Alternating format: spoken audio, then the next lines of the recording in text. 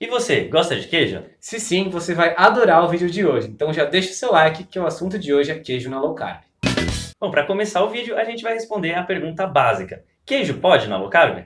De maneira resumida, sim. Mas cuidado, você tem que prestar atenção em alguns detalhes que fazem toda a diferença. É claro que, como qualquer outro alimento, a melhor maneira é sempre olhar a tabela, a informação nutricional do alimento que você for consumir. No caso dos queijos, a maioria deles vem embalado, você pode olhar lá, né, na embalagem já a tabela nutricional, ou então você pode pesquisar na internet, por exemplo, carboidratos, queijo, mussarela. E assim você vai ter a informação do queijo que você está consumindo. De maneira geral, se você quer uma regrinha prática, os queijos amarelos, os queijos mais gordurosos, tendem a ter menos lactose, que é um carboidrato do leite, e que é o carboidrato que sobra no queijo. Então, esses queijos que são fermentados por mais tempo ficam com menos do carboidrato e por isso eles ficam com a cor mais amarelada. Alguns exemplos são o queijo, por exemplo, parmesão, o gorgonzola, o cheddar, dentre outros. O rudá, o prato, o camembert e dentre uma infinidade deles. Porém, existem alguns queijos que não são tão amarelos assim, mas que ainda assim podem ser incluídos numa dieta low carb cetogênica, como cream cheese, requeijão, ou mesmo o cottage, que é mais proteico, e o queijo brie, que é uma delícia. Por outro lado, a inclusão dos queijos na dieta low carb é um pouco mais delicada porque você tem que considerar alguns outros aspectos quando pensar se vai incluir na sua alimentação ou não. Por exemplo, uma das bases é não baseie sua alimentação apenas em queijos. Assim como as receitinhas low carb, as bebidas alcoólicas, os queijos entram nessa categoria que é melhor você não basear a sua dieta neles. A dieta low carb cetogênica sempre vai ter como base os vegetais e as fontes de proteína como carnes e ovos. E aves e peixes e todo esse tipo de bicho e planta. Então, o queijo pode ser um complemento para a sua dieta, sempre muito bem-vindo, por exemplo, em omeletes e outras adições, mas pode ter um lado não tão legal assim. Por exemplo, Algumas pessoas têm uma verdadeira compulsão por queijo, isso é, enquanto elas comem ali os seus 3, 4 ovos numa refeição, a sua saladinha ficam satisfeitas, comendo um pouquinho de queijo, elas ficam com vontade de ainda mais queijo, e é muito difícil parar para elas. Esse é o chamado efeito dominó, que também pode acontecer com alguns outros alimentos, como amendoim. Você come um e quer mais, e quer outro, e quer outro, e quer outro. Algumas pessoas têm isso, outras não. E um grande problema desse efeito dominó é porque o queijo é um alimento altamente calórico. Tá aí o nosso segundo problema.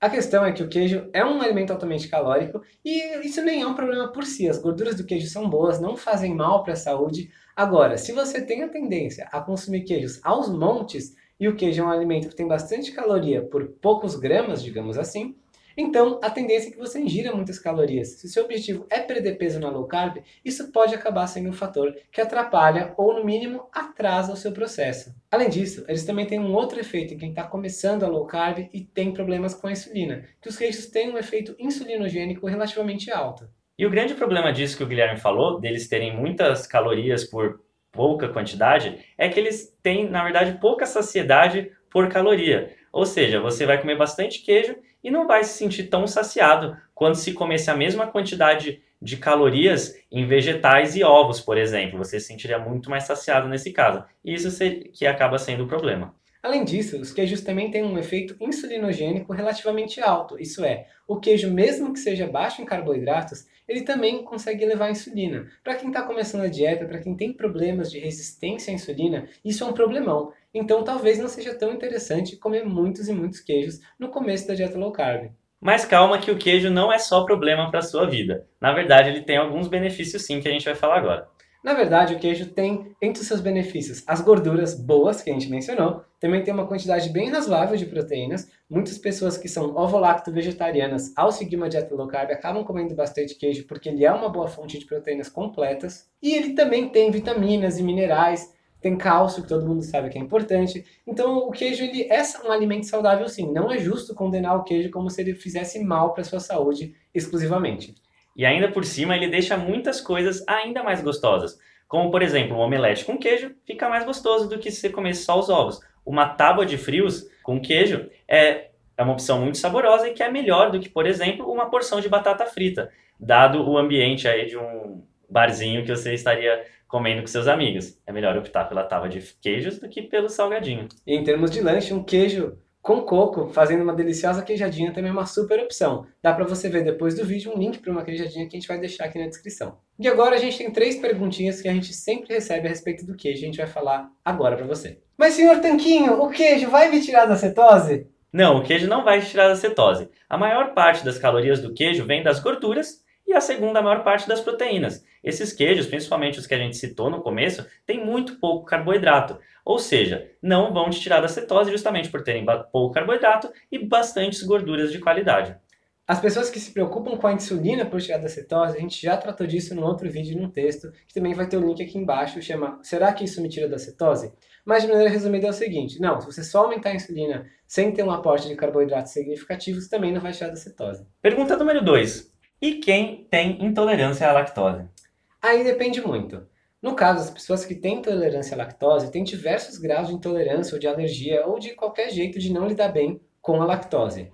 Esses queijos que a gente mencionou são aqueles mais pobres em lactose. Então, geralmente, algumas pessoas que têm problema com o leite em si não têm problema com esses queijos, porque a quantidade de lactose é muito menor. Porém, aquelas pessoas que têm uma sensibilidade mais aguçada, mais crítica à lactose, podem acabar se dando mal mesmo com esse queijo. Um exemplo simples é o caso da manteiga.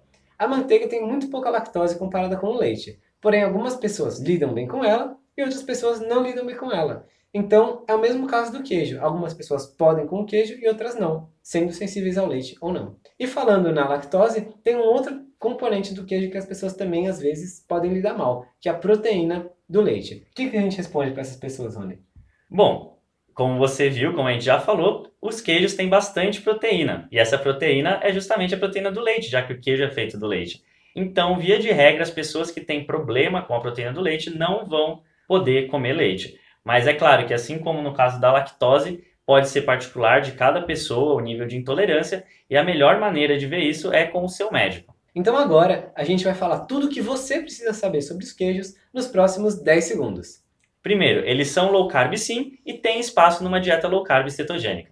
Segundo, eles são calóricos, então se você tiver com dificuldade de perder peso mesmo na low carb, talvez valha a pena tirar um pouquinho os queijos por alguns dias e ver como você se sente, como você responde.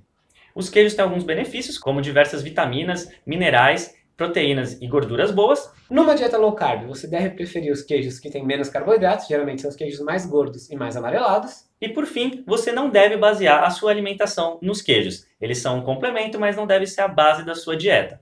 Principalmente para pessoas que estão começando uma jornada de perda de peso ou aquelas pessoas que atingiram um platô de perda de peso.